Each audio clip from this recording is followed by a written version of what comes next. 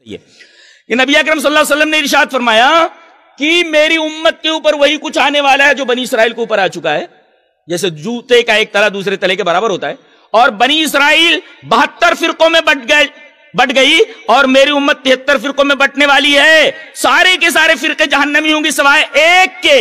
पूछा गया कि अल्लाह के रसूल, वो नाजिया फिरका और जहन्नम से बचने वाला, जन्नत में जाने वाला फिरका कौन सा होगा? आपने फरमाया, नाम नहीं बताया। नाम नहीं बताया, बल्कि नहज बता दिया, मनहज मनहज का मफहूम समझ में आ गया। मनहज बता दिया, नाम नहीं बताया, मनहज, यह असल है। मनहज क्या है? मा अना अलैहि, मैं जिस पर हूँ वह असहाबी, और जिस पर मेरे सहाबा हैं। अब सवाल आप करेंगे कि मा अना अलैहि, मैं जिस पर हूँ? सवाल यह कि नबी किस पर थे? कुरान एक ने उसका जवाब दिया है। कि आप कह दीजिए, इन अत्तबा यूहा इलैया, मैं उस चीज़ की इत्तेबा करता हूँ, मैं उस चीज़ पर हूँ जो मेरे ऊपर वही की जाती है। ज़ाहिर है कि आपके ऊपर दो किस्म की वही होती थी। एक वही मतलू, यानी कुरान हकीम, एक वही गैर मतलू, हदीस। ये दोनों चीज़ें। अच्छा है ये दोनों चीज़ें वही होती थी। जी हाँ इसलिए कि यही दोनों चीज़ें आपने उम्मत को दी हैं। और आपने जो मिला था वही दिया है। और आपने कह दिया था क्या मैंने पूरा का पूरा पहुँचा दिया? मैदान अरफात में? और तमाम लोगों ने कहा कि आपने पहुँचा दिया। तो वही दोनों चीज़ें जो आपके ऊपर उतरी थी वही उम्मत को पहुँचाया। तो लाजिम यह आया कि जो आपने उम्मत को दिया वही चीज़ें आपके ऊपर उतरी। अब आइए वो हदीस पढ़ लेते हैं।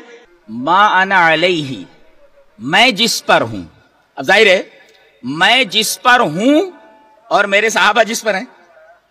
ज़ाहिर है कि जिस पर आप हैं उसी पर आपके साहबा हैं सवाल यह है कि किस चीज़ पर आप हैं कि उसी पर आपके साहबा भी हैं? बताया गया। इन अतबा मैं उसी चीज़ की इत्तेबा करता हूँ जो मेरे ऊपर वही की जाती है। अब सवाल यह कि क्या चीज़ वही की गई है आपके ऊपर? वही जो आपने उम्मत को दिया है। कि जिसे मजबूती से पकड़ने के बाद आदमी गुमराह नहीं होगा? आइए वो हदीस पढ़ लेते हैं। हदीस हदीस इस तरह।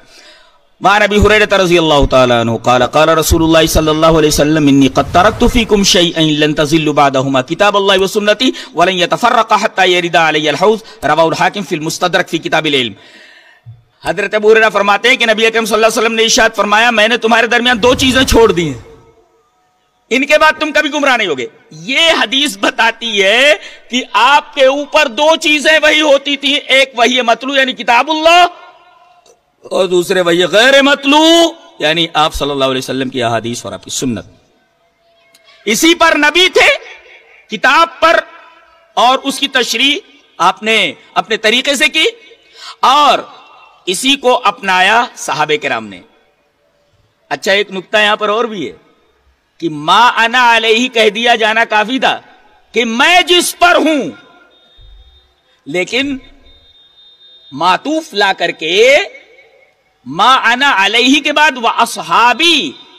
कहने के अंदर नुकता यह है कि नबी के ऊपर जो वही उतरी, आपने